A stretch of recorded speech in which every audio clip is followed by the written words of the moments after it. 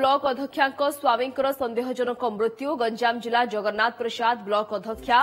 ଜୟଶ୍ରୀ ସାହୁଙ୍କର ସ୍ୱାମୀ ହିମାଂଶୁ ବାରିକଙ୍କର ସନ୍ଦେହଜନକ ଅବସ୍ଥାରେ ମୃତ୍ୟୁ ହୋଇଛି ଗତକାଲି ବିଳମ୍ବିତ ରାତିରେ ନିକଟସ୍ଥ ଗଣ୍ଡାଧର ଗାଁରୁ ଭୋଜି ଖାଇ ଫେରିଥିଲେ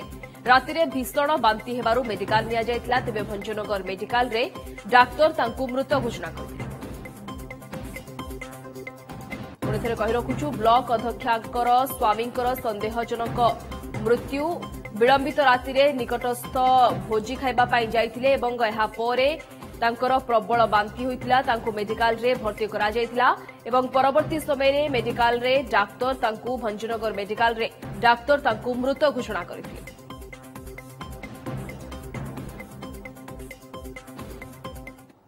ବ୍ଲକ ଅଧ୍ୟକ୍ଷାଙ୍କ ସ୍ୱାମୀଙ୍କର ସନ୍ଦେହଜନକ ମୃତ୍ୟୁ ଗଞ୍ଜାମ ଜିଲ୍ଲା ଜଗନ୍ନାଥ ପ୍ରସାଦ ବ୍ଲକ ଅଧ୍ୟକ୍ଷା জয়শ্রী সাহুঙ্কর স্বামী হিমাংশু বারিকঙ্কর সন্দেহজনক অবস্থায় মৃত্যু হয়েছে গতকাল বিলম্বিত রাতে নিকটস্থ গণ্ডাধর গাঁরু ভোজি খাই ফেলে রাতে ভীষণ বান্তি হবার মেডিকাল নিয়ে তবে ভঞ্জনগর মেডিকাল ডাক্তার তা মৃত ঘোষণা করে ପୁଣିଥରେ କହି ରଖୁଛୁ ବ୍ଲକ ଅଧ୍ୟକ୍ଷାଙ୍କର ସ୍ୱାମୀଙ୍କର ସନ୍ଦେହଜନକ ମୃତ୍ୟୁ ବିଳମ୍ବିତ ରାତିରେ ନିକଟସ୍ଥ ଭୋଜି ଖାଇବା ପାଇଁ ଯାଇଥିଲେ ଏବଂ ଏହାପରେ